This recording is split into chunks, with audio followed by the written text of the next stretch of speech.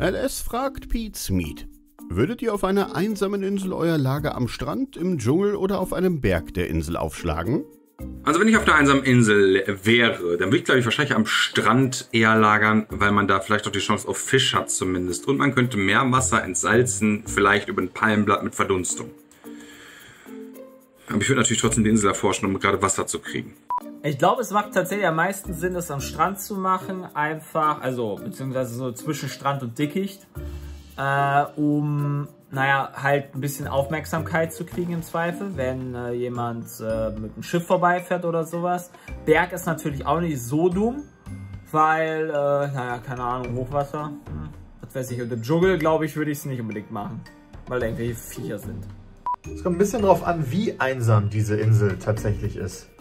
Also wenn ich, wenn ich nicht komplett alleine bin, sondern da vielleicht Einheimische darauf warten, mich zu schlachten, dann äh, würde ich nicht den Dschungel nehmen. Dann würde ich vielleicht sogar den Berg nehmen, einfach weil er, glaube ich, am besten zu verteidigen ist.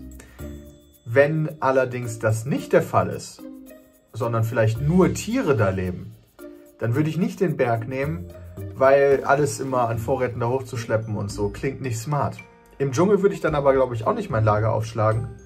Höchstens vielleicht in den Bäumen, aber auch dann hast du wieder die Sachen irgendwo hintransportieren Problematik.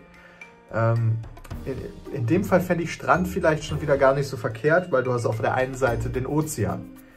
Das heißt, Tiere kommen auch nicht dahin, um, äh, um Wasser zu trinken oder sowas, weil es halt Salzwasser ist.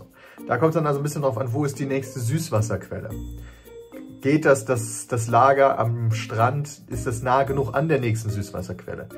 Weil eine Süßwasserquelle ist, sicherlich sinnvoll, aber auch gefährlich, weil dann halt, wie gesagt, potenziell Tiere da hingehen und zwar vielleicht Tiere, die gefährlich für einen sind. Also da müsste man sich halt auch ein bisschen auskennen, wie gefährlich sind die Tiere da.